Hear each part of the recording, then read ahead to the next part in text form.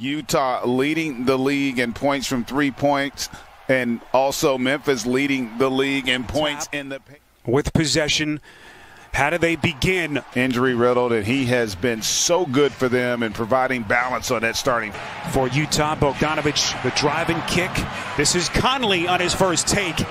And that was probably the first contested shot that the Jazz have had in this almost single handedly one game one for him with some of the things he was able to do. Obviously, Morant sizes up favors.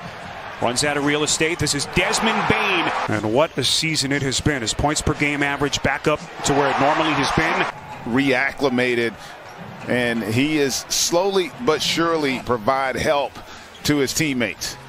Second three already for Niang. What a pass. Here's Niang, the cross court pass now into the corner. Clarkson. See the low turnover numbers so far. Brooks. So they started to lay the foundation. And what a year two it was. So really the first stressful moment now for the Grizzlies. They're down six. Starting to get a little stagnant for Utah. Ball movement not nearly as crisp, nor is the spacing. A little sloppy with the basketball, a little careless at times, and As we come up on the three minute mark to get into the paint.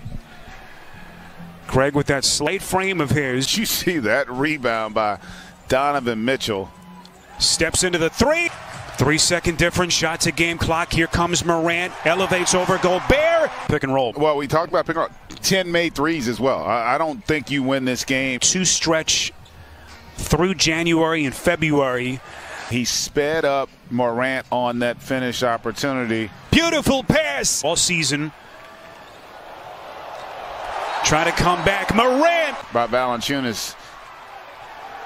Morant. definitely had a dunk on that play. Ja Morant, you saw him close up. He was busting tail to get down, and he blocked that shot of Gobert. And Rudy's furious that a, He's a whistle careful. He's gotta be wasn't called. He, Mike Conley's trying to calm him down right now. It was a Yeah, foul. He grabbed his foul. arm. Into the paint. No. Gobert. Up. Puts it down. You know, he's also an incredible screener and finisher. Seven point Utah lead. Mitchell coming back for more. Then the Utah turnover. Here comes Morant. Full head of steam to the cup. No easy task. And another turnover. Morant the steal. So Brooks stays in the game. But probably could have gotten a much better opportunity on that possession. He is now two of eight from deep. This is Clarkson. That's a three. That's what you want to see more of on their end. And this is what they need more evolution of the game. Defense now is played more so Holding on to this 10 point lead. Melton launches from three and hits. Late third quarter has been under control. Melton wants to push. That's a three. defense there. There's Melton. Good execution offensively. Mike Conley, the longtime Grizzly who has been sensational. Rebound O'Neale. Back to Bogdanovich, another three. Got it by Melton.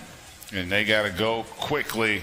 Morant trying to put one down on Gobert, and he will shoot free throws. And that's a really good decision there by Morant. Go with force and attack.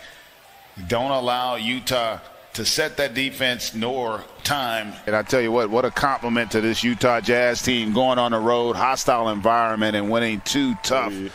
You know, we, we came in ready, and uh, they're never going to give up. So we, we try to communicate, do what we have to do, and uh, it's a big win for us tonight.